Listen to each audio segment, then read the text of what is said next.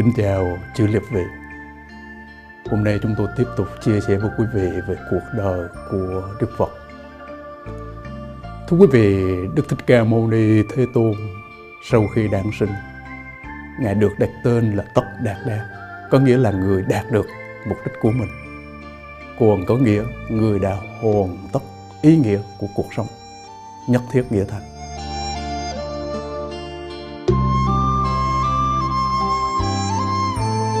Trong ngày lễ kỷ niệm ngày đản sinh của Đức Phật.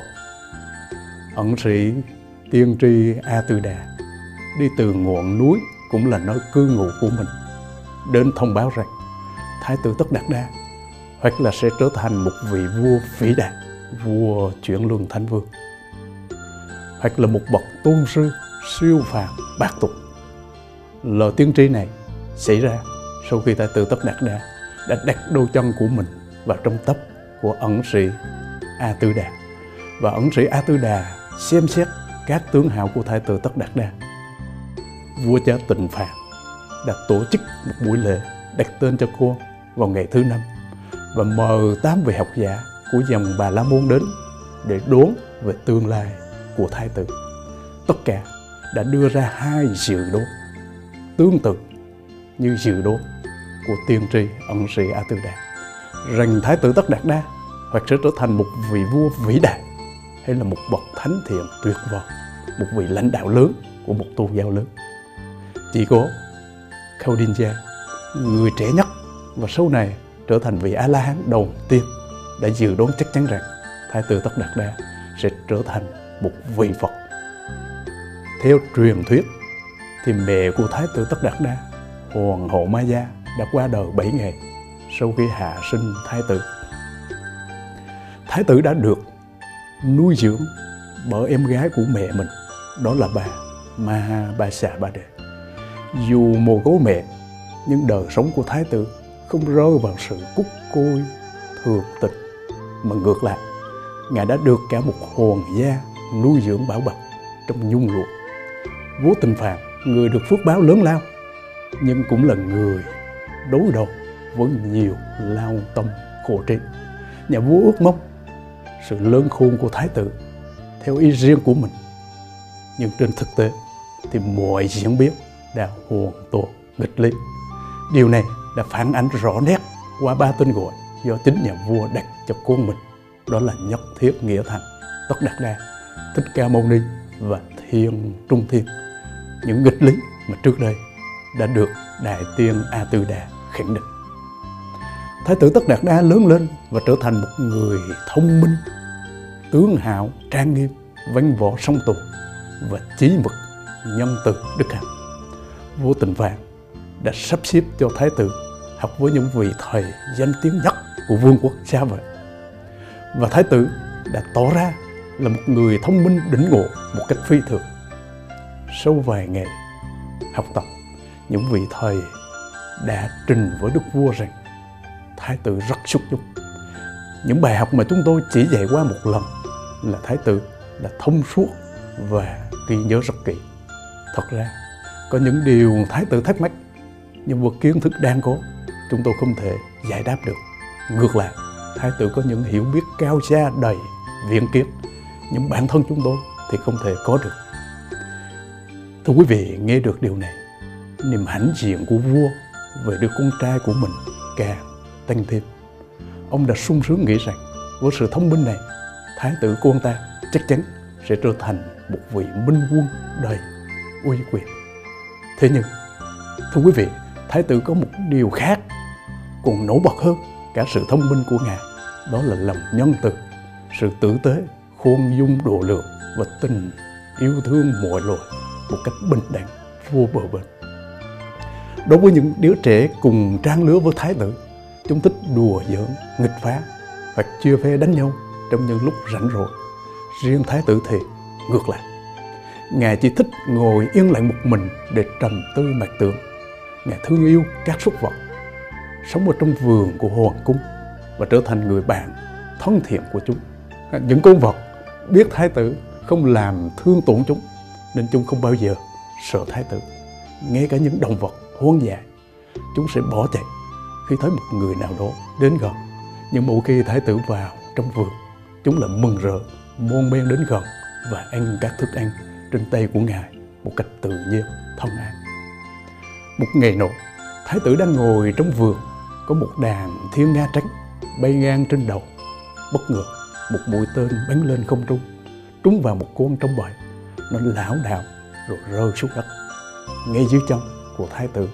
Mũi tên vẫn còn ghim nơi cánh của nó. Ôi!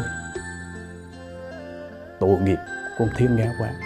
Thái tử nhủ thầm, và ôm con chim vào lòng. Đừng sợ, ta sẽ chăm sóc cho cô. Từ từ, rồi ta sẽ lấy mũi tên ra. Thế rồi, tay này thái tử nhẹ nhàng vuốt ve con thiên nga để nó bất sợ. Tay kia, thái tử rút mũi tên ra một cách thận trọng. Xong, thái tử lấy thuốc băng bó vết thương cho thiên nga. Vừa làm, thái tử vừa thầm an ủi, khiến cho nó không còn sợ hãi nữa. Lâu vết thương xong, thái tử cởi áo ngồi của mình ra uốn quanh mình chim thiên nga để cho thiên nga được ấm áp. Một lúc sau, một cậu thiếu niên đã chạy vào trong vườn. Đó là người em họ của thái tử, tên là đề bà đạt đa. Cậu ta mang theo cung tên và rất vui mừng nói anh tất đạt đa. Anh tất đạt đa, em vừa mới bắn được một con thiên nga. Anh thấy đó, em chỉ bắn một phát thôi là đã hạ được một con chim rồi. Nó rơi xuống chung quanh đây. Anh kiếm giúp cho em. Ngay lúc ấy, để bà đạt đa phát hiện một mũi tên của mình dính máu đang nằm ngay dưới chân của thái tử tất đạt đa. Nhìn kỹ, cậu ta thấy thái tử đang cầm vật gì trong tay? Rồi nhận ra đó là thiên nga. Mà cậu đang tìm, cậu la lên, anh lấy con thiên nga của em đây, đưa lại cho em đi. Em đã bắn hạ nó, thì nó thuộc về của em.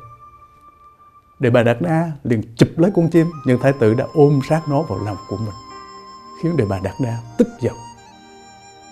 Thái tử nói một cách kiên quyết rằng, anh đã bắt gặp con chim này nằm quanh quại mình đầy máu. Anh không thể đưa nó cho bất cứ ai khi nó đang bị thương. Để bà Đạt Đa la lên, nhưng nó là của em. Chính em đã bắn nó, anh dành của em không được. Hãy trả nó lại cho em. Hai cậu thiếu niên tranh cãi một hồi, và đề bà đạt đa càng lúc càng trở nên giận dữ. Nhưng thái tử tất đạt đa vẫn một mực không giao con thiên nga cho cậu ấy. Sau cùng, thái tử nói, khi hai người tranh cãi một vấn đề nào đó mà không giải quyết được, thì nên giải quyết bằng pháp luật. Trước những người thông thái có thẩm quyền, chúng ta cứ trình bày những sự việc xảy ra để cho những vị này quyết định ai đúng, ai sai.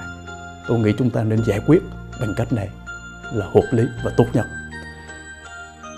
để bà đạt đa dù không thích ý kiến này, nhưng không còn có cách nào để có thể lấy lại. Con thiên nga do vậy, cậu đã đồng ý. Họ đã đi vào cung điện, thưa lại sự việc của vua và quân thần. Mọi người đều bật cười khi nghe họ trình bày sự việc. Các quan nói, chỉ có mỗi một con chim mà làm mất thì giờ của chúng tôi quá. Thật không đáng tí nào cả. Nhưng vua lại nói, tất đạt đa và đề bà đạt La là những thái tử của hoàng tộc. Trẫm rất vui mừng vì chúng đã biết nhờ chúng ta giải quyết những việc bất bình bằng cách xét xử. Trẫm nghĩ điều đó rất quan trọng, bởi vì chúng là những nhà lãnh đạo trong tương lai biết dùng cách giải quyết sự việc bằng pháp lý là biểu hiện cho tinh thần thượng tôn pháp trị. Chúng ta phải đặc biệt quan tâm xét xử cho chúng. Sau đó thái tử tất đạt đa và đề bà đạt đa, mỗi người, thưa quý vị, tự trình bày những sự việc đã xảy ra. Các quan cố gắng lắng nghe để quyết định ai đúng thì con thiên nga sẽ thuộc về người đó. Người thì cho rằng đề bà đạt đa đã bắn con chim, đương nhiên nó thuộc về cậu ấy. Người khác lại cho rằng thái tử tất đạt đa bắt được con thiên nga thì nó thuộc về thái tử.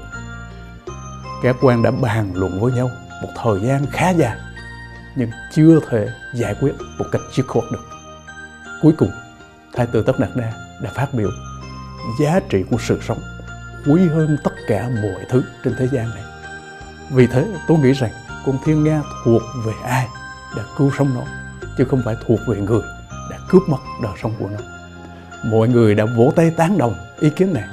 Thế là Thái tử Tất Đạt Đa được tất cả đại thần hiện diện biểu quyết là người thắng cuộc và được quyền nuôi dưỡng con thiên nga. Thưa quý vị, câu chuyện tuy đơn giản và rất đời thường, nhưng đã nói lên tất cả sự thông minh và lòng nhân từ của một vị thái tử trẻ tuổi mà cả triều đình, từ nhà vua cho đến các quan đại thần đều thán phục. Câu chuyện đó cũng cho thấy đức hiếu sinh của thái tử Tất Đạt Đa không giới hạn ở thế giới nhân loại mà còn bao trùm cả muôn loại chúng sinh. Bài học sống động này chắc chắn là một triết lý sống vô giá cho bất cứ ai, dù già hay trẻ, dù quyền uy hay thứ dân. Lý do là vì lòng từ bi thì lúc nào cũng vượt lên trên mọi giới hạn và phân biệt. Thưa quý vị, chúng tôi sẽ tiếp tục chia sẻ đến quý vị về cuộc đời của Đức Phật. À, xin trân trọng kính chào và hẹn gặp lại quý vị